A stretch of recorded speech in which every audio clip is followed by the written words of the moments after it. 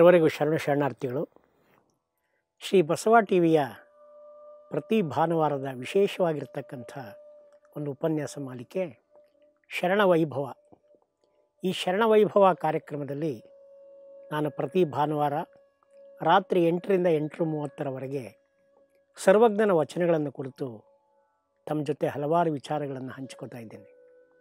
ಈ ಉಪನ್ಯಾಸ ಮಾಲಿಕೆಗೆ ಲಕ್ಷಾಂತರ ಜನ ತಾವು ಯೂಟ್ಯೂಬಲ್ಲಿ ನೋಡಿ ನಂತರ ಸಾಕಷ್ಟು ಜನ ಪ್ರತಿಕ್ರಿಯೆಗಳನ್ನು ಕೊಡ್ತಾ ಇದ್ದಾರೆ. ನನಗೆ ಹೃದಯ ತುಂಬಿ ಬಂದಿದೆ. ನಮ್ಮ ಬಸವ ಟಿ ವಿ ವಾಹಿನಿಯ ಮುಖ್ಯಸ್ಥರಿಗೆ ನಾನು ತುಂಬ ಆಭಾರಿಯಾಗಿದ್ದೇನೆ. ಯಾಕೆ ಅಂತ ಕೇಳಿದರೆ, ಪ್ರಪಂಚದ ಸರ್ವಶ್ರೇಷ್ಠ ಕವಿ, ಮಹಾಮಾನವತಾವಾದಿ, ನಡೆದಾಡ್ತಕ್ಕಂತಹ ಒಂದು ವಿಶ್ವಕೋಶ, ವಿಶ್ವಜ್ಞಾನಿ, ಮಹಾಕವಿ ಸರ್ವಜ್ಞನನ್ನು ಕುರಿತು ತಮ್ಮ ಜೊತೆ ವಿಚಾರಗಳನ್ನು ಹಂಚ್ಕೊತಿರ್ತಕ್ಕಂಥದ್ದು ಭಾಳ ಸಂತಸ ತಂದಿದೆ. ಈ ಉಪನ್ಯಾಸ ಮಾಲಿಕೆಗೆ ಹಲವಾರು ಜನ ವಿದ್ಯಾರ್ಥಿಗಳು, ಶಿಕ್ಷಕರು, ನಾಡಿನ ಗಣ್ಯರು, ಸ್ವಾಮೀಜಿಗಳು, ಸಮಾಜದ ನಾನಾ ಭಾಗದ ಜನ ಒಳ್ಳೆಯ ಪ್ರತಿಕ್ರಿಯೆಗಳನ್ನು ಕೊಡುತ್ತಿದ್ದಾರೆ. ಇದು ನಿಜವಾಗ ಕೂಡ ನಮ್ಮ ಶ್ರಮ ಸಾರ್ಥಕ ಅಂತ ನಾನು ಅಂದ್ಕೊಂಡಿದ್ದೇನೆ ಯಾಕೆ ಅಂತ ಕೇಳಿದರೆ, ಈ ಜಗತ್ತಿನಲ್ಲಿ ಯಾರಾದರೂ ಮಹಾನ್ ಕವಿ, ಸರ್ವಶ್ರೇಷ್ಠ ಕವಿ ಸಾರ್ವಕಾಲಿಕ ಕವಿ ಇದ್ದಾನೆ ಅಂತ ಕೇಳಿದರೆ ಅದು ನಮ್ಮ ಮಹಾಕವಿ ಸರ್ವಜ್ಞ. ಇದನ್ನು ಭಾಳ ಹೆಮ್ಮೆಯಿಂದ ನಾವು ಹೇಳ್ಕೋಬೇಕಾಗತ್ತೆ. ಯಾಕೆ ಈ ಮಾತು ಹೇಳ್ತಿದ್ದೀನಿ ಅಂತ ಕೇಳಿದರೆ, ಏಳು ಕೋಟಿಗೂ ಅಧಿಕ ವಚನಗಳನ್ನು ಬರೆದಿರ್ತಕ್ಕಂಥ ವಚನಕಾರ ಜಗತ್ತಿನಲ್ಲಿ ಯಾರೂ ಇಲ್ಲ. ಅದು ನಮ್ಮ ಕವಿ, ಸರ್ವಜ್ಞ ಕವಿ. ಹಾಗಾಗಿ ನನಗೆ ಅತ್ಯಂತ ಪ್ರೀತಿ ಪಾತ್ರನಾಗಿರ್ತಕ್ಕಂಥ ನನ್ನ ಆರಾಧ್ಯ ದೈವ, ಆರಾಧ್ಯ ಕವಿ ಅಂತ ಕೇಳಿದರೆ ಸರ್ವಜ್ಞ. ಯಾಕೆ ಅಂತ ಕೇಳಿದರೆ ಸರ್ವಜ್ಞ ಹೇಳದೇ ಇರತಕ್ಕಂಥ ವಿಚಾರಗಳು ಯಾವುದೂ ಉಳಿದಿಲ್ಲ ಜಗತ್ತಿನಲ್ಲಿ. ಪ್ರತಿಯೊಬ್ಬರಿಗೂ ಬೇಕಿಲ್ಲಿ. ಜನಸಾಮಾನ್ಯರಿಂದ ರಾಜನವರೆಗೆ ಪ್ರತಿಯೊಬ್ಬರು ಕೂಡ ತಿಳ್ಕೊಳ್ಬೇಕಾಗಿರ್ತಕ್ಕಂಥ ಒಂದು ನೀತಿಯನ್ನು, ಲೋಕಜ್ಞಾನವನ್ನು, ಅನುಭವವನ್ನು ಎಲ್ಲವನ್ನು ಕೂಡ ಸರ್ವಜ್ಞ ತನ್ನ ವಚನಗಳಲ್ಲಿ ತಿಳಿಸ್ಕೊಡ್ತಾ ಇದ್ದಾನೆ.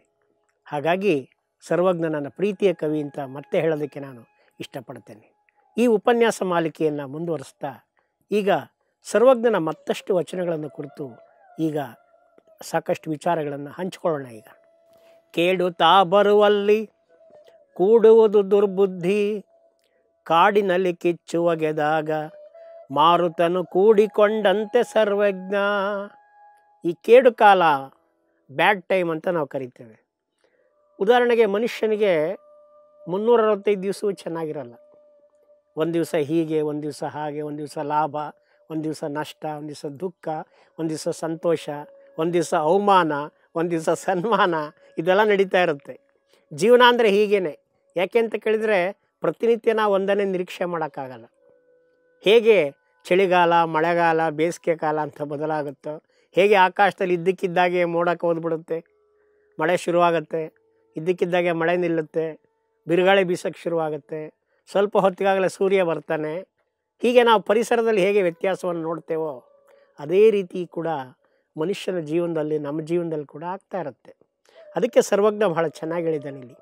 ಕೇಳುತ್ತಾ ಬರುವಲ್ಲಿ, ಕೂಡುವುದು ದುರ್ಬುದ್ಧಿ, ಕಾಡಿನಲ್ಲಿ ಕಿಚ್ಚು ಒಗೆದಾಗ ಮಾರುತನು ಕೂಡಿಕೊಂಡಂತೆ ಸರ್ವಜ್ಞ. ಕೇಡು ಬರುವಾಗ, ಕೆಟ್ಟ ಟೈಮ್ ಬರುವಾಗ, ಬ್ಯಾಡ್ ಟೈಮ್ ಬರುವಾಗ ಕೆಲವರು ಹೇಳ್ತಿರ್ತಾರಲ್ಲ, ಯಾಕೆ ನಮ್ಮ ಟೈಮ್ ಸರಿ ಇಲ್ಲ ಅಂಥೇಳಿ. ಅದು ಹೇಗಾಗತ್ತೆ? ಕೇಳ್ತಾ ಬರುವಲ್ಲಿ ಕೂಡುವುದು ದುರ್ಬುದ್ಧಿ ದುರ್ಬುದ್ಧಿ ಬರುತ್ತೆ. ಮನುಷ್ಯನಿಗೆ ಕೆಟ್ಟದ್ದು ಯಾವ ಮಾಡ್ತಾನಪ್ಪ ಅಂತ ಕೇಳಿ ದುರ್ಬುದ್ಧಿ ಬಂದಾಗಲೇ. ಕನ್ನಡದಲ್ಲೊಂದು ಗಾದೆ ಇದೆ. ಕೇಡುಗಾಲಕ್ಕೆ ನಾಯಿ ಮೊಟ್ಟೆ ಹಿಡಿತು ಅಂತ. ನಾಯಿ ಯಾವತ್ತೂ ಮೊಟ್ಟೆ ಹಿಡಲ್ಲ, ನಾಯಿ ಮರಿ ಹಾಕತ್ತೆ. ಆದರೆ ಯಾವಾಗ ಮನುಷ್ಯನಿಗೆ ದುರ್ಬುದ್ಧಿ, ಕೆಟ್ಟ ಬುದ್ಧಿ ಬರುತ್ತೋ, ಆ ಮನುಷ್ಯ ಏನು ಮಾಡ್ತಾನೆ? ಕೆಟ್ಟ ಕೆಟ್ಟ ಆಲೋಚನೆಗಳನ್ನು ಮಾಡ್ತಾನೆ. ಅದಕ್ಕೋಸ್ಕರನೇ ಈ ಕೇಡುಗಾಲ ಕೇಡು ಬುದ್ಧಿ ಬಂದಾಗ ಮನುಷ್ಯನಿಗೆ ಕೆಟ್ಟದ್ದಾಗತ್ತೆ. ಅದಕ್ಕೋಸ್ಕರನೇ ಹೇಗಾಗುತ್ತೆ? ಕಾಡಿನಲ್ಲಿ ಕಿಚ್ಚು ಒಗೆದಾಗ ಮಾರುತ್ತನು. ಕಾಡಿನಲ್ಲಿ ಬೇಸಿಗೆ ಕಾಲದಲ್ಲಿ ಗಮನಿಸಿರಬೇಕು. ಬೆಂಕಿ ಹತ್ಕೊಂಡು ಉರಿತಾ ಇರುತ್ತೆ. ಈಗ ನೀವು ಟಿ ವಿನಲ್ಲಿ ಇತ್ತೀಚೆಗೆ ನೋಡಿದ್ರಿ, ಅಮೇರಿಕಾದ ಕ್ಯಾಲಿಫೋರ್ನಿಯಾ ಅಂತಕ್ಕಂಥ ದಟ್ಟ ಕಾಡಲ್ಲಿ. ಆ ದಟ್ಟವಾದ ಕಾಡಿಗೆ ಬೆಂಕಿ ಬಿದ್ದುಬಿಟ್ಟಿದೆ. ಎಷ್ಟೋ ತಿಂಗಳುಗಳಿಂದ ಬೆಂಕಿ ಹುರಿತಾ ಇದೆ.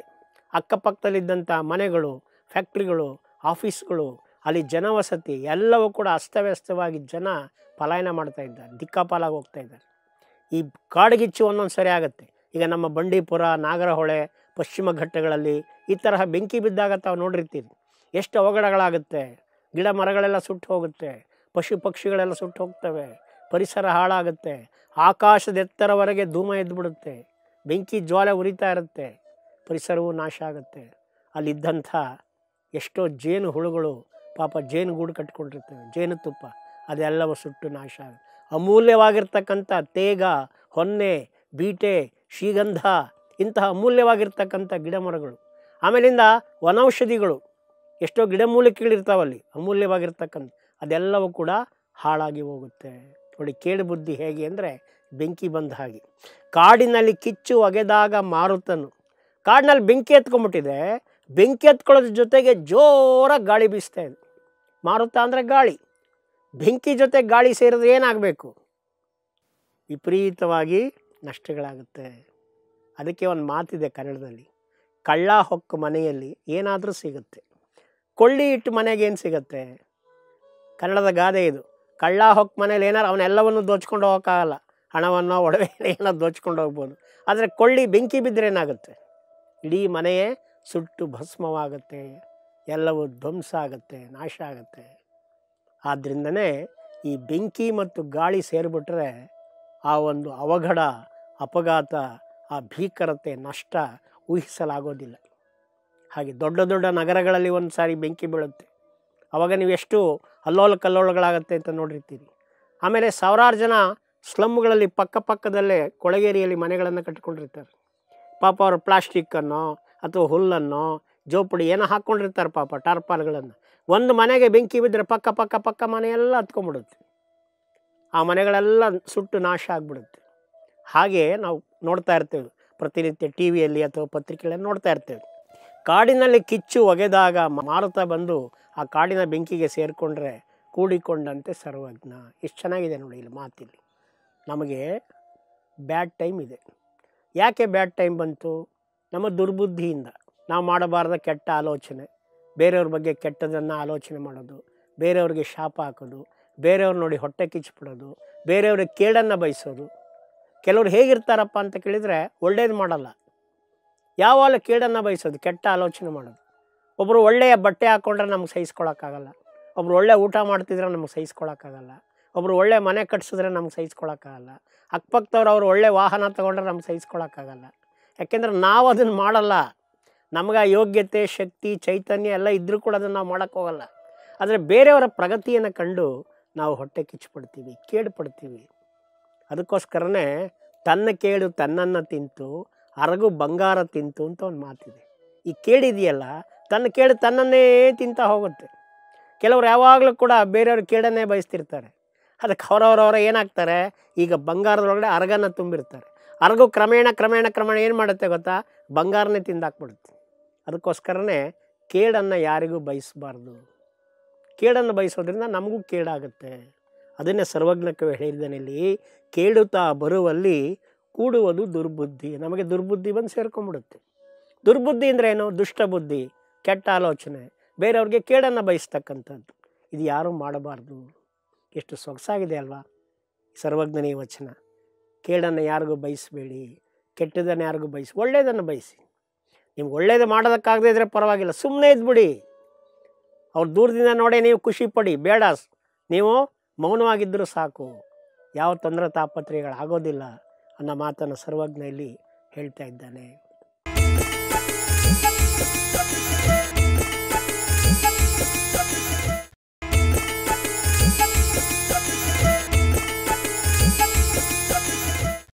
ಈ ಬೆಂಕಿ ಎನ್ನುವುದು ಕೇಡು ಬುದ್ಧಿ ಇದ್ದ ಹಾಗೆ.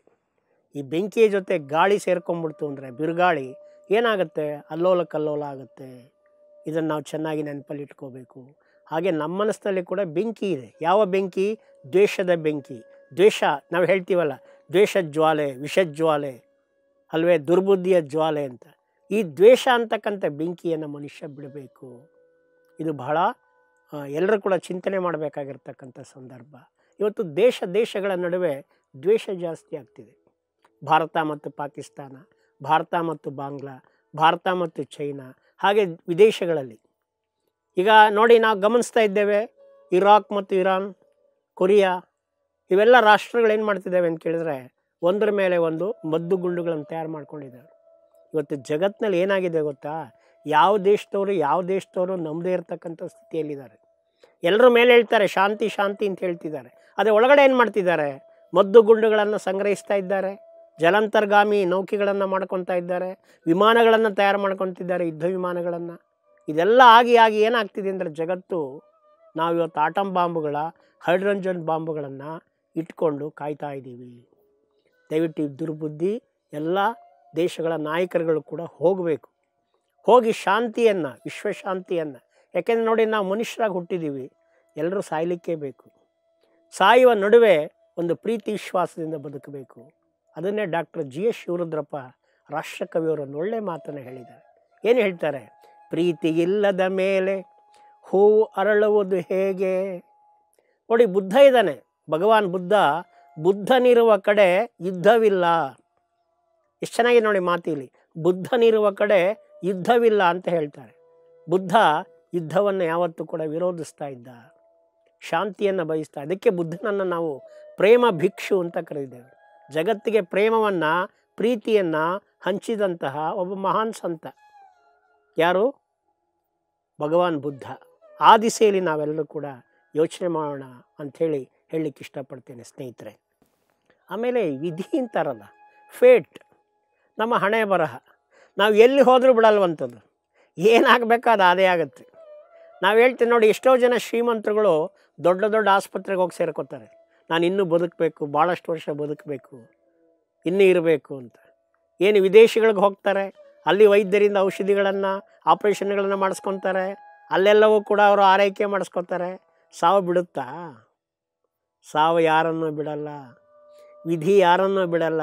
ಏನು ಆಗಬೇಕು? ಲಲಾಟೆ ಲಿಖಿತ ರೇಖಂ, ನಮ್ಮ ಹಣೆಯಲ್ಲಿ ಏನು ಬರೆದಿದೆಯೋ ಅದು ಆಗೇ ಆಗುತ್ತೆ. ಅದನ್ನು ತಪ್ಪಿಸ್ಕೊಳ್ಳೋದಕ್ಕೆ ನಾವೇನು ಮಾಡ್ತೀವಿ? ಹೋಮ ಮಾಡು, ಅವನ ಮಾಡು, ಯಜ್ಞ ಮಾಡು, ದೇವ್ರ ಹುಂಡಿಗೆ ದುಡ್ಡು ಹಾಕು. ದೇವ್ರು ಹೇಳಿದಾನ ಪರಮಾತ್ಮ. ದೇವ್ರು ಏನು ಕೇಳ್ತಾನೆ ಗೊತ್ತಾ? ಪರಿಶುದ್ಧವಾದ ಮನಸ್ಸಿನಿಂದ ಕಣ್ಣು ಮುಚ್ಕೊಂಡು ದೇವರನ್ನು ಧ್ಯಾನ ಮಾಡಬೇಕು. ನಾದಪ್ರಿಯನೂ ಅಲ್ಲ, ವೇದಪ್ರಿಯನೂ ಅಲ್ಲ, ಭಕ್ತಿಪ್ರಿಯ ನಮ್ಮ ಕೂಡಲ ಸಂಗಮ ದೇವ ಅಂತಾರೆ ಬಸವಣ್ಣವರು. ಅದಕ್ಕೋಸ್ಕರನೇ ನಾವು ಭಕ್ತಿಯಿಂದ ಪರಿಶುದ್ಧವಾದ ಮನಸ್ಸಿನಿಂದ ದೇವರ ನಿಷ್ಕಲ್ಮಶವಾದ ಭಾವದಿಂದ ದೇವರನ್ನ ಪ್ರಾರ್ಥಿಸಬೇಕು. ನಮ್ಮ ಮತ್ತು ದೇವರ ನಡುವೆ ಇರ್ತಕ್ಕಂಥ ಸೇತುವೆ ಯಾವುದು ಗೊತ್ತಾ? ಪ್ರಾರ್ಥನೆ. ಪ್ರಾರ್ಥನೆ ಮತ್ತು ಧ್ಯಾನ ದೇವರನ್ನು ಮಾತಾಡಿಸ್ತಕ್ಕ ಇರ್ತಕ್ಕಂಥ, ಸುಲಭವಾಗಿರ್ತಕ್ಕಂಥ ಮಾರ್ಗಗಳು. ಇದು ಬಿಟ್ಟು ನಾವು ದೊಡ್ಡ ಹೋಮ ಮಾಡಿಸ್ದೆ, ಆ ಹೋಮ ಮಾಡಿಸ್ದೆ, ಹವನಗಳನ್ನು ಮಾಡಿಸ್ದೆ, ಎಷ್ಟು ಲಕ್ಷ ಲಕ್ಷ ದುಡ್ಡು ಖರ್ಚು ಮಾಡ್ತಾರೆ ನೋಡಿ. ಆ ಬೆಂಕಿಗೆ ತೆಗೆದುಕೊಂಡು ಹೋಗಿ ಅಮೂಲ್ಯವಾಗಿರ್ತಕ್ಕಂಥ ವಸ್ತುಗಳನ್ನೆಲ್ಲ ಹಾಕ್ತಾರೆ, ಸುಟ್ಟಾಕ್ತಾರೆ. ಎಷ್ಟೋ ಜನಕ್ಕೆ ಇವತ್ತು ಬಡ ಮಕ್ಕಳಿಗೆ ಬಟ್ಟೆಗಳಿಲ್ಲ ಹಾಕ್ಕೊಳ್ಳೋದಕ್ಕೆ. ಅವರಿಗೆ ಈ ಚಳಿಗಾಲದಲ್ಲಂತೂ ಅವ್ರ ಪರಿಸ್ಥಿತಿ ನೋಡಲಿಕ್ಕಾಗಲ್ಲ, ಬಡವರ ಪರಿಸ್ಥಿತಿಯನ್ನು. ಅಂಥವ್ರಿಗೆ ನೀವು ಬಿಸಿ, ಅವರಿಗೆ ಊಟವನ್ನು ಕೊಡ್ತಕ್ಕಂಥ, ಅವರಿಗೆ ಮೈ ಮುಚ್ಚಲಿಕ್ಕೆ ಒಳ್ಳೆಯ ಬಟ್ಟೆಯನ್ನು ಕೊಡ್ತಕ್ಕಂಥ, ಉಲ್ಲನ್ ರಗ್ಗಳನ್ನು ಕೊಡ್ತಕ್ಕಂಥ, ಇಂಥ ಪುಣ್ಯದ ಕೆಲಸ ಮಾಡಿ, ಪುಣ್ಯ ಬರುತ್ತೆ. ಭಗವಂತ ಅವ ಮೆಚ್ಕೊಂತ ನಮ್ಮನ್ನು. ಜನಸೇವೆಯೇ ಜನಾರ್ಧನ ಸೇವೆ ಅಂತ. ಜನರಿಗೆ ಮಾಡ್ತಕ್ಕಂಥ ಸೇವೆ ಇದೆಯಲ್ಲ, ಅದು ಪರಮಾತ್ಮನಿಗೆ ಮಾಡ್ತಕ್ಕಂಥ ಸೇವೆ. ನಾವು ದೇವ್ರಿಗೆ ಏನು ಮಾಡ್ತೀವಿ? ಬಟ್ಟೆ ಕೊಡಿಸೋದು. ಅಲ್ರಿ, ದೇವ್ರಿಗೆ ಬಟ್ಟೆ ಕೊಡ್ಸೋಕ್ಕಾಗತ್ತೆ? ದೇವ್ರಿಗೆ ಒಡವೆ ತಗೊಂಡೋಗಿ ಕೊಡೋದು. ಅಲ್ಲ, ದೇವ್ರ ಒಡವೆ ಕೇಳ್ತಾನೆ. ಹರಿಗೆ ಒಂದು ಗುಡಿಯೇನೊಂದ ಕಟ್ಟುತ್ತಿರುವನು, ದೀನಗಿಂತ ದೇವ ಬಡವ ಎಂದು ಬಗೆದನು ಅಂತ. ಎಷ್ಟು ಚೆನ್ನಾಗಿ ನೋಡಿ ಮಾತಿಲ್ಲಿ. ಪರಮಾತ್ಮನಿಗೆ ಹೋಗಿ ನಾವು ಗುಡಿ ಕಟ್ತೇವೆ, ದೇವಸ್ಥಾನ ಕಟ್ಟಿಸ್ತೇವೆ ದೇವರಿಗೆ ಗುಡಿ ಕಟ್ಟೋಕ್ಕಾಗತ್ತಾ? ಸರ್ವಾಂತರ್ಯಾಮಿ ಅವನು ಅಗೋಚರ, ಅಪ್ರತಿಮ. ಜಗದಗಲ, ಮುಗಿಲಗಲ, ಮಿಗಿಯಗಲ. ಪಾತಾಳದಿಂದತ್ತತ್ತ ನಿಮ್ಮ ಶ್ರೀಚರಣ, ಬ್ರಹ್ಮಾಂಡದಿಂದತ್ತತ್ತ ನಿಮ್ಮ ಶ್ರೀ ಮುಕುಟ, ಅಗಮ್ಯ, ಅಗೋಚರ, ಅಪ್ರತಿಮ ಅಂಥೇಳಿ ಬಸವಣ್ಣವ್ರು ಹೇಳ್ತಾರೆ. ನೋಡಿ ನಾವು ಇದನ್ನು ಅರ್ಥ ಮಾಡ್ಕೋಬೇಕು. ಯಾಕೆ ಅಂತ ಕೇಳಿದರೆ, ಈ ದೇವಾಲಯ ಕಟ್ಟೋದು, ದೇವ್ರಿಗೆ ಬಟ್ಟೆ ಕೊಡಿಸೋದು, ದೇವ್ರಿಗೆ ತೊಗೊಂಡೋಗಿ ಹಾಲು ಕೊಡೋದು, ದೇವ್ರಿಗೆ ತುಪ್ಪ ಕೊಡೋದು ಹಾಂ ದೇವರಿಂದ ಯಾವುದನ್ನು ಕೇಳಲ್ಲ. ಪರಮಾತ್ಮ ನಮಗೆ ಕೊಟ್ಟಿದ್ದಾನೆ. ನಾವು ಖುಷಿಯಾಗಿ ದೇವರಿಗೆ ಪ್ರತಿನಿತ್ಯ ಪ್ರಸಾದ ಸ್ವೀಕಾರ ಮಾಡುವಾಗ ಭಗವಂತ, ಇವತ್ತು ನನಗೆ ಒಳ್ಳೆ ಅನ್ನ ಕೊಟ್ಟಿದೀಯಪ್ಪ ನಿನ್ನ ಕೃಪೆಯಿಂದ. ಸಂತೋಷ ಊಟ ಮಾಡ್ತಾ ಇದ್ದೀನಪ್ಪ. ನಿನ್ನ ಕರುಣೆ ಇರಲಪ್ಪ ದೇವರೇ. ನನ್ನ ಹಾಗೆ ಯಾರು ಕಷ್ಟದಲ್ಲಿದ್ದಾರೋ ಅವ್ರಿಗೂ ಕೂಡ ಇದೇ ರೀತಿಯಾಗಿ ಸೌಲಭ್ಯ ಸಿಗಲಪ್ಪ ಪರಮಾತ್ಮ ಅಂತ ಅಂದ್ಕೊಳ್ಳೋದಿದೆಯಲ್ಲ ಅವ್ರಿಗೊಂದಿಷ್ಟು ಸಹಾಯ ಮಾಡೋದಿದೆಯಲ್ಲ ಅದು ಬಹಳ ಶ್ರೇಷ್ಠತೆ. ಈ ವಿಧಿ ಅನ್ನೋದು ಎಲ್ಲಿ ಹೋದರೂ ಬಿಡಲ್ಲ ನಮ್ಮನ್ನು. ಬೆನ್ನಟ್ಕೊಂಡು ಬಂದೇ ಬರುತ್ತೆ. ಅದನ್ನು ಸರ್ವಜ್ಞ ಎಷ್ಟು ಚೆನ್ನಾಗಿ ಹೇಳ್ತಾನೆ ನೋಡಿ ಇಲ್ಲಿ. ಗಟ್ಟದಲ್ಲಿ ಬೆಟ್ಟದಲ್ಲಿ ಇಟ್ಟೆಡೆಯ ಇರುಬಿನಲಿ ಕೆಟ್ಟುಳಿದು ಬಂದೆ ನೆನಬೇಡ ವಿಧಿ ಕಾಣದ ಅಷ್ಟದಿಕ್ಕುಂಟೆ ಸರ್ವಜ್ಞ. ವಿಧಿಗೆ ಈ ಎಂಟು ದಿಕ್ಕುಗಳು ಗೊತ್ತು. ಪೂರ್ವ, ಪಶ್ಚಿಮ, ಉತ್ತರ, ದಕ್ಷಿಣ, ವಾಯು, ಈಶಾನ್ಯ, ಆಗ್ನೇಯ, ನೈಋತ್ಯ ಜೊತೆಗೆ ಮೇಲೆ ಮತ್ತು ಕೆಳಗೆ ಪಾತಾಳ. ಎಲ್ಲವೂ ಈ ಹತ್ತು ದಿಕ್ಕುಗಳು ದಶ ದಿಕ್ಕು ಅಂತ ಅಂದ್ಕೊಳ್ಳೋಣ ಈ ಎಂಟು ದಿಕ್ಕುಗಳಲ್ಲೂ ಕೂಡ ವಿಧಿ ನಮ್ಮನ್ನು ಅನುಸರಿಸ್ಕೊಂಡು ನಮ್ಮ ಹಿಂದೆನೇ ಬರುತ್ತೆ. ಘಟ್ಟದಲ್ಲಿ, ಬೆಟ್ಟದಲ್ಲಿ, ನೀವೆಲ್ಲ ಒಂದು ಗುಡ್ಡಕ್ಕೆ ಹೋಗ್ತೀರಿ, ಎಲ್ಲ ಒಂದು ಬೆಟ್ಟಕ್ಕೆ ಹೋಗ್ತೀರಿ, ಎಲ್ಲ ಒಂದು ಹೋಗಿ ತಗ್ಗಲ್ಲಿ ಕೂತ್ಕೊತೀರಿ ವಿಧಿ ಬಿಡುತ್ತಾ ನಿಮ್ಮನ್ನು? ಖಂಡಿತ ಬಿಡಲ್ಲ. ಇಟ್ಟೆಡೆ ಇರುಬಿನಲ್ಲಿ ನೀವೆಲ್ಲಾದ್ರಿರಿ ನೀವು. ಕೆಟ್ಟುಳಿದು ಬಂದೆ ನೆನಬೇಡ. ಓ, ನಾನು ಬಚಾವಾದೆ. ನನ್ನ ಸುತ್ತ ಏನು ಮಾಡಿದ್ದೀನಿ? ಏನು ಮಾಡಿದ್ದೀನಿ ನನ್ನ ಸುತ್ತ? ನಾಲ್ಕು ಗೋಡೆ ಕಟ್ಕೊಂಬಿಟ್ಟಿದ್ದೀನಿ ಒಳಗಡೆ ಯಾರೂ ಬರೋಕ್ಕೆ ಸಾಧ್ಯ ಇಲ್ಲ. ಒಳಗಡೆ ಇದ್ದೀನಿ ನಾನು. ನೋಡಿ, ನಿಮಗೆ ಗೊತ್ತಿರಬೇಕು, ಅಂಗರಕ್ಷಕರೇ ಏನು ಮಾಡ್ತಾರೆ? ಗುಂಡು ಹಾಕಿ ಸಾಯಿಸಿರೋ ಪ್ರಸಂಗ ನಾವು ನೋಡಿದ್ದೇವೆ. ಶೂಟ್ ಮಾಡಿ ಸಾಯಿಸಿರೋ ಪ್ರಸಂಗ ನಾವು ನೋಡಿದ್ದೇವೆ. ಯಾಕೆ ಈ ಮಾತು ನಾನು ಹೇಳ್ತಿದ್ದೀನಿ ಅಂತ ಕೇಳಿದರೆ, ನಾವೆಲ್ಲೇ ಇದ್ದರೂ ಆ ವಿಧಿ ಅನ್ನೋದು ನಮ್ಮನ್ನು ಬಿಡಲ್ಲ. ಯಾರೋ ಒಬ್ಬನಿಗೆ ಒಬ್ಬರು ಹೇಳಿದ್ರು ನಿಮಗೆ ಮರದಿಂದ ಸಾವು. ಮರ ಗೊತ್ತಲ್ಲ, ಗಿಡ ಮರಗಳು. ಆ ಮರದಿಂದ ನಿಂಗೆ ಸಾವಿದೆಯಪ್ಪ ಅವನು ಮರದ ಕೆಳಗಡೆ ಹೋಗ್ತಿರ್ಲಿಲ್ಲ. ಮರದ ಪಕ್ಕದಲ್ಲಿ ನಿಂತ್ಕೊತಿರ್ಲಿಲ್ಲ. ಮರ ಹತ್ತಿರಲಿಲ್ಲ. ಭಾಳ ಹುಷಾರಾಗಿದ್ದ ಅವನು ಎಷ್ಟೇ ಗಾಳಿ, ಮಳೆ ಬರಲಿ ಮರದಿಂದ ದೂರ ಇರ್ತಿದ್ದ ಅವನು ಮರ ನನ್ನ ಮೇಲೆ ಬೀಳಬಾರ್ದು, ಮರ ನನ್ನ ಮೇಲೆ ಬೀಳಬಾರ್ದು. ಒಂದು ದಿವಸ ಏನಾಯ್ತಂತೆ ಗೊತ್ತಾ? ಅವನ ಮನೆಯಲ್ಲಿ ಕೂತ್ಕೋಬೇಕಾಯ್ತು, ಮಣೆ ಇತ್ತು. ಮರದಲ್ಲಿ ಮಾಡಿಸಿರ್ತಕ್ಕಂಥ ಮಣೆ. ಆ ಮಣೆ ಮೇಲೆ ಹೋಗಿ ಕೂತ್ಕೊಳ್ಳೋಕೆ ಹೋದ ಜರ್ ಅಂತ ಜಾರ್ಬಿಡ್ತದೆ ಕೆಳಗಡೆ ನೀರು ಬಿದ್ದಿತ್ತೇನೋ ಆ ಮರದ ಮಣೆ ಜಾರ್ತು. ಜಾರಿದ ತಕ್ಷಣ ಏನಾಯಿತು, ಅವನ ತಲೆ ಹೋಗಿ ಕಂಬಕ್ಕೆ ಹೊಳಿತು ಅಲ್ಲೇ ಸತ್ತೋದಂತೆ ಅದಕ್ಕೆ ಹೇಳ್ತಾರೆ, ನಿನಗೆ ಸಾವು ಮರದಲ್ಲಿದೆ. ನೋಡಿ, ಅವನು ಮರದ ಕೆಳಗೆ ಹೋಗಲಿಲ್ಲ. ಮರ ಹತ್ತಲಿಲ್ಲ ಆದರೂ ಒಂದು ಮರದ ಹಲಗೆಯಿಂದ ಮೇಲೆ ಕಾಲಿಡಕ್ಕೆ ಹೋಗಿ ಜಾರಿ ಬಿದ್ದು ಕಂಬಕ್ಕೆ ಹೊಡೆದ ತಲೆ ಸತ್ತು ಹೋದ.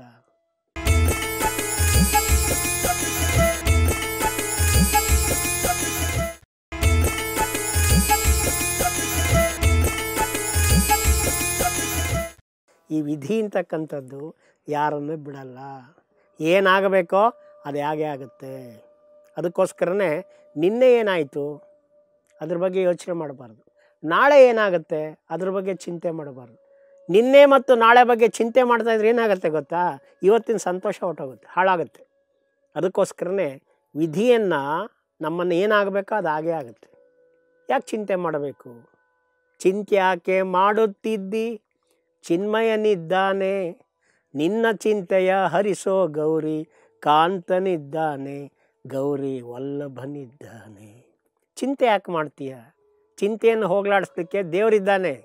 ನೀನು ಚಿಂತೆ ಮಾಡಬೇಡ. ವಿಧಿ ಏನಾಗಬೇಕು ಅದು ಅದೇ ಆಗುತ್ತೆ. ಅದು ಆಲ್ರೆಡಿ ನಿರ್ಧಾರ ಆಗಿದೆ. ಯಾವ ಮನುಷ್ಯ ಎಲ್ಲಿ ಸಾಯಬೇಕು? ಕೆಲವ್ರು ಹೇಳ್ತಾರೆ ಸರ್ ಟೂ ವೀಲರಲ್ಲಿ ಅವನು ಗಾಡಿನಲ್ಲಿ ಹೋಗ್ತಾ ಇದ್ದ ಬಿದ್ದು ಸತ್ತೋಗ್ಬಿಟ್ಟ ಒಂದು ಸ್ವಲ್ಪ ಎಚ್ಚರ ವಹಿಸಿದರೆ ಬದುಕ್ತಿದ್ದ. ಇಲ್ಲ, ಅದು ಹಣೆ ಬರಹ. ನೋಡಿ, ಒಂದು ಬಸ್ಸಲ್ಲೆಲ್ಲ ಪ್ರಯಾಣ ಮಾಡ್ತಿರ್ತಾರೆ. ಅದು ಹೋಗಿ ಇದ್ದಕ್ಕಿದ್ದಾಗೆ ಬಸ್ಸು ಚಾನಲಲ್ಲಿ ಬಿದ್ದುಬಿಡುತ್ತೆ. ಹತ್ತಾರು ಜನ ಸತ್ತೋಗ್ತಾರೆ.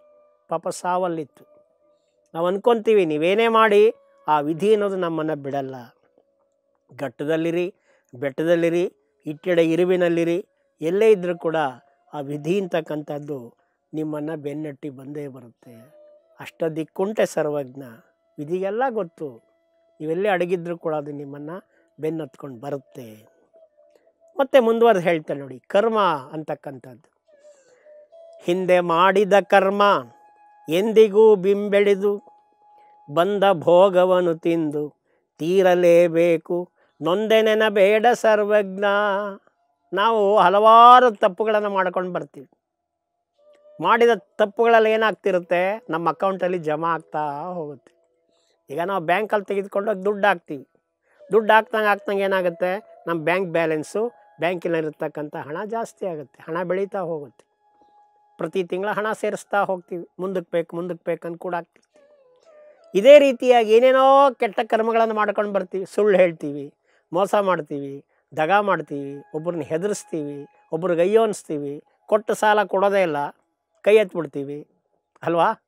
ಇದೆಲ್ಲ ಮಾಡಿದ್ರೆ ಈ ಕರ್ಮಗಳನ್ನು ಮಾಡಿದರೆ ಏನಾಗುತ್ತೆ? ನೋಡಿ, ಕೆಲವರು ನಮ್ಮ ಹತ್ರ ಕೆಳಗಡೆ ದುಡಿತಾ ಇರ್ತಾರೆ. ಪರಿಶ್ರಮ ಪಡ್ತಾರೆ. ಅವ್ರಿಗೆ ನಾವು ಕೊಡಬೇಕಾದ ಪಾಲನ್ನು ಸರಿಯಾಗಿ ಕೊಟ್ಬಿಡ್ಬೇಕು. ಮೋಸ ಮಾಡ್ತೀವಿ ಅಂತ ಇಟ್ಕೊಳ್ಳಿ. ಕರ್ಮ. ನಾ ಮಾಡಿದಂಥ ತಪ್ಪು. ಹಿಂದೆ ಮಾಡಿದ ಕರ್ಮ ಎಂದಿಗೂ ಬೆಂಬಿಡದು. ನಿಮ್ಮನ್ನು ಎಂದೂ ಬಿಡಲ್ಲ. ಮಾಡಿದ ತಪ್ಪು ನಿಮ್ಮನ್ನು ಶಿಕ್ಷಿಸ್ತೇ ಬಿಡಲ್ಲ. ನೋಡಿ, ಇದು ಭಾಳ ಸತ್ಯವಾದ ಕಾಲ. ನಮ್ಮ ತಾಯಿ ತಂದೆ ಯಾವಾಗಲೂ ಹೇಳೋರು, ರೊಟ್ಟಿ ಇದೆಯಪ್ಪ, ರೊಟ್ಟಿ ಮಾಡ್ತೀವಿ. ಒಂದು ಕಡೆ ಬೇಯಿಸ್ತೀವಿ, ಹೆಂಚ್ ಮೇಲೆ ಹಾಕಿ ಕಾವಲಿ ಮೇಲೆ. ಒಂದು ಕಡೆ ಬೆಂದ ಮೇಲೆ ಏನಾಗುತ್ತೆ? ಅದನ್ನು ತಿರುಗಿಸ್ತೀವಿ. ಊಟ ಮಾಡಲೇಬೇಕು. ಒಂದು ಕಡೆ ಬೆಂದ ಮೇಲೆ ರೊಟ್ಟಿ ಇನ್ನೊಂದು ಕಡೆಗೆ ತಿರುಗಿಸ್ತೀವಿ. ಹಾಗೆ ಇವತ್ತು ತಪ್ಪು ಮಾಡಿದ್ರೆ ಅದರ ಎಫೆಕ್ಟು ಅದರ ಪರಿಣಾಮ ನಮಗೆ ಖಂಡಿತ ಆಗೇ ಆಗುತ್ತೆ. ಇದು ಸತ್ಯವಾದ ಕಾಲ. ಕೆಲವರು ಹೇಳೋರು, ತಾತ ಮಾಡಿದ್ದನ್ನು ಮೊಮ್ಮಗ ಅನ್ಭವಿಸ್ ಅದೆಲ್ಲ ಇಲ್ಲ ಈಗ. ಅಪ್ಪ ಮಾಡಿದ್ದು ಮಕ್ಕಳು ಅನ್ಭವಿಸ್ತಾ ಇದ್ದಾರೆ ಅದೆಲ್ಲ ಇಲ್ಲ ಈಗ. ಅಪ್ಪ ಮಾಡಿದ್ದನ್ನು ಅಪ್ಪನೇ ಅನ್ಭವಿಸಬೇಕು ಅದಕ್ಕೋಸ್ಕರನೇ ಹಿಂದೆ ಮಾಡಿದ ಕರ್ಮ ಎಂದಿಗೂ ಬೆಂಬಿಡೋದು ನಮ್ಮನ್ನು. ಬೆನ್ನತ್ಕೊಂಡು ಬಂದೇ ಬರುತ್ತೆ. ಬಂದ ಭೋಗವನ್ನು ತಿಂದು ತೀರಲೇಬೇಕು. ನೊಂದೆ ನೆನಬೇಡ ಸರ್ವಜ್ಞ. ನೀನೇನು ಮಾಡಿಟ್ಟಿದೆಯೋ ಅದು ನೀನು ಊಟ ಮಾಡಲೇಬೇಕು. ನೀನು ಮಾಡಿದ ತಪ್ಪಿಗೆ ನೀನು ಶಿಕ್ಷೆ ಅನ್ಭವಿಸ್ತೀವಿ ಉಪ್ಪು ತಿಂದವನು ನೀರು ಕುಡಿಯಲೇಬೇಕು. ತಪ್ಪು ಮಾಡಿದವನು ಶಿಕ್ಷೆಯನ್ನು ಅನುಭವಿಸಲೇಬೇಕು. ಅಲ್ವಾ? ಎಷ್ಟು ಚೆನ್ನಾಗಿದೆ ನೋಡಿ ಮಾತಿನಲ್ಲಿ. ಹಾಗೆ ಮುಂದುವರೆದು ಹೇಳ್ತಾ, ಕಾಯದ ಕರ್ಮವನು, ಕಾಯದಿಂದುಣಬೇಕು, ಕಾಯ ಗುಣಧರ್ಮ ಕರ್ಮಗಳು, ಹರಿಬೊಮ್ಮರಾಯರಿಗೂ ಬಿಡವು ಸರ್ವಜ್ಞ. ಈ ಕಾಯದ ಕರ್ಮವನ್ನು ಕಾಯದಿಂದಲೇ ಊಟ ಮಾಡಬೇಕು. ನಾನು ಮಾಡಿದ ತಪ್ಪನ್ನು ನಾನೇ ಊಟ ಮಾಡಬೇಕು. ಈ ಶರೀರ ತಪ್ಪು ಮಾಡಿದ್ರೆ ಈ ಶರೀರನೇ ಅದನ್ನು ಅನ್ಭವಿಸ್ಬೇಕಾಗತ್ತೆ. ಕಾಯ ಗುಣಧರ್ಮ ಕರ್ಮಗಳು ಹೇಗೆ? ಹರಿ ಬೊಮ್ಮ ರಾಯರಿಗೂ ಹರಿ ಇರ್ಬೋದು, ಬ್ರಹ್ಮ ಇರ್ಬೋದು, ಶಿವ ಇರ್ಬೋದು, ಯಾರಿಗಾರ ಆಗಲಿ. ಬಿಡವು ಸರ್ವಜ್ಞ. ಯಾರ್ಯಾರು ತಪ್ಪು ಮಾಡಿದ್ರು ಅವ್ರವ್ರ ಶಿಕ್ಷೆನ ಅನ್ಭವಿಸ್ಬೇಕು. ದೇವರಾದರೇನಂತೆ ದೇವರು ತಪ್ಪು ಮಾಡಿದ್ರೆ ದೇವ್ರಿಗೂ ಶಿಕ್ಷೆ ಇದೆ. ಯಾರನ್ನು ಕೂಡ ಇದು ಕರ್ಮ ಅಂತಕ್ಕಂಥದ್ದು ಬಿಡುವುದಿಲ್ಲ ಅನ್ನೋ ಮಾತನ್ನು ಸರ್ವಜ್ಞ ಕವಿ ನಮ್ಮ ಗಮನಕ್ಕೆ ತರ್ತಾ ಇದ್ದಾರೆ. ಇನ್ನೊಂದು ಮಾತಿಯ ನೋಡಿ ಇಲ್ಲಿ. ವಾರಣಾಸಿಯಲ್ಲಿರಲಿ, ವಾರಿಧಿಯ ನಡುವಿರಲಿ, ವೀರಭದ್ರನ ನೆರೆಯಿರಲಿ, ವಿಧಿಯಾಟ ತೋರದೆ ಬಿಡದು ಸರ್ವಜ್ಞ. ನೋಡಿ ವಿಧಿ ನೀವೆಲ್ಲಿದ್ದರೂ ಯಾರ ಹತ್ರ ಹೋದ್ರೂ ಬಿಡಲ್ಲ. ನಾವು ಅನ್ಕೋತೀವಿ ತಪ್ಪು ಮಾಡಿಬಿಟ್ಟಿದ್ದೀವಿ ಓ, ಕಾಶಿಗೆ ಹೋಗ್ಬಿಟ್ರೆ ನನಗೆ ಪುಣ್ಯ ಬರುತ್ತೆ. ಕಾಶಿಗೆ ಹೋದ್ರೆ ನಿಮ್ಮನ್ನು ಬೆನ್ನತ್ಕೊಂಡು ಬರುತ್ತೆ ಆ ವಿಧಿ, ಆ ದುರ್ವಿಧಿ, ಆ ನಿಮ್ಮ ದುರಾದೃಷ್ಟ ಅಂತಕ್ಕಂಥದ್ದು. ವಾರಿಧಿಯ ನಡುವೆ ಸಮುದ್ರದ ಮಧ್ಯಕ್ಕೆ ಹೋಗ್ಬಿಡೋದು. ಯಾರು ಬಂದು ನನಗೇನು ತೊಂದರೆ ಕೊಡಬಾರ್ದು ಅಂತ. ಅಲ್ಲೊಂದು ಗಾಜಿನ ಮನೆ ಕಟ್ಕೊಂಬಿಡೋದು. ಬಿಡುತ್ತಾ ವಿಧಿ ನಿಮ್ಮನ್ನು? ಖಂಡಿತ ಬಿಡಲ್ಲ. ವೀರಭದ್ರ ನೆರೆ ಇರಲಿ, ವೀರಭದ್ರ ಸ್ವಾಮಿ ರಕ್ಷಣೆ ಕೊಡ್ತಾನೆ. ಹೋಗ್ಬಿಟ್ಟು ವೀರಭದ್ರನ ಪಾದ ಹಿಡ್ಕೊಂಡು ಬಿಡ್ತೀರಿ ಅಲ್ಲೋದ್ರೆ ವಿಧಿ ಬಿಡುತ್ತಾ? ಇಲ್ಲ. ವಿಧಿಯಾಟ ತೋರದೆ ಬಿಡೋದು ಸರ್ವಜ್ಞ. ವಿಧಿಯಾಟ ನಿಮಗೆ ಏನಾದ್ರೂ ನಿಮ್ಮನ್ನು ಬಿಡೋದಿಲ್ಲ. ಅದಕ್ಕೋಸ್ಕರನೇ ಸ್ನೇಹಿತರೆ ನಾವು ಇರುವಷ್ಟು ದಿವಸ, ಎಷ್ಟು ವರ್ಷ ಬದುಕ್ತೀವಿ ಅನ್ನೋದಕ್ಕೆ ಮುಖ್ಯ ಅಲ್ಲ. ಹೇಗೆ ಬದುಕ್ತೀವಿ? ಮನುಷ್ಯ ಎಷ್ಟು ವರ್ಷ ಬದುಕಿದ್ದ ಅನ್ನೋದಕ್ಕಿಂತ ಹೇಗೆ ಬದುಕಿದ್ದ? ಎಷ್ಟು ಒಳ್ಳೆಯ ಸಾರ್ಥಕ ಜೀವನವನ್ನು ಮಾಡ್ದ ಅನ್ನೋದು ಬಹಳ ಮುಖ್ಯ ಇಲ್ಲಿ. ಅದಕ್ಕೋಸ್ಕರನೇ ನಾವು ಮಾಡ್ತಕ್ಕಂಥ ಒಳ್ಳೆಯ ಕೆಲಸಗಳು ನಮ್ಮ ಹಿಂದೆ ಬರ್ತವೆ. ನಾವು ಮಾಡಿದಂಥ ದಾನ, ಧರ್ಮ, ಪರೋಪಕಾರ, ಸತ್ಕಾರ್ಯ ಮಾಡ್ತಕ್ಕಂಥ ಒಳ್ಳೆಯ ಕೆಲಸ ನಮ್ಮನ್ನು ಹಿಂಬಾಲಿಸ್ಕೊಂಡು ಬರುತ್ತೆ. ಅದಕ್ಕೋಸ್ಕರನೇ ಯಾರ ಕಣ್ಣಲ್ಲೂ ನೀರನ್ನು ಬರೆಸಬಾರ್ದು. ಒಬ್ಬರು ಸಂತರು ಹೇಳ್ತಾ ಇದ್ರು, ಲವ್ ಆಲ್, ಸರ್ವ್ ಆಲ್. ಎಲ್ಲರನ್ನೂ ಪ್ರೀತಿಸಿ, ಎಲ್ಲರಿಗೂ ಸೇವೆ ಮಾಡಿ. ನೋಡಿ, ಎಷ್ಟು ಚೆನ್ನಾಗಿದೆ ಮಾತಿಲ್ಲಿ. ಇಲ್ಲಿ ಬಹಳ ಮುಖ್ಯವಾಗಿರ್ತಕ್ಕಂಥದ್ದು ಇಲ್ಲಿ ಯಾಕೆಂದರೆ ನಾವು ಜಗತ್ತಿಗೆ ಇವತ್ತು ಪ್ರೀತಿ ಬೇಕಾಗಿದೆ, ವಿಶ್ವಾಸ ಬೇಕಾಗಿದೆ. ಸಂತೋಷ ಬೇಕಾಗಿದೆ. ಒಬ್ಬರನ್ನೊಬ್ಬರಿಗೆ ಗೌರವಿಸಬೇಕಾಗಿದೆ. ಬಸವಣ್ಣವರ ತತ್ವ ಇದೆಯಲ್ಲ, ಇವತ್ತಿದು ಬಹಳ ಅವಶ್ಯಕವಾಗಿ ಬೇಕಾಗಿದೆ. ಇವ ನಾರವ ಇವ ನಾರವ, ಇವ ನಾರವನೆಂದೆಣಿಸದಿರಯ್ಯ, ಇವ ನಮ್ಮವ ಇವ ನಮ್ಮವ, ಇವ ನಮ್ಮವನೆಂದೆಣಿಸಯ್ಯ, ಕೂಡಲ ಸಂಗಮ ದೇವ, ನಿಮ್ಮ ಮನೆಯ ಮಗನೆಂದೆಣಿಸಯ್ಯ. ಎಷ್ಟು ಸೊಗಸಾಗಿದೆ ನೋಡಿ ಇದನ್ನೆಲ್ಲರೂ ಅರ್ಥ ಮಾಡ್ಕೊಂಬಿಟ್ರೆ ಜೀವನ ಚೆನ್ನಾಗಿರುತ್ತೆ ಅಂತ ಹೇಳ್ತಾ ಮುಂದಿನ ಸಂಚಿಕೆಯಲ್ಲಿ ತಮ್ಮನ್ನು ಭೇಟಿ ಮಾಡ್ತೀನಿ. ನಮಸ್ಕಾರ ಶರಣು ಶರಣಾರ್ಥಿ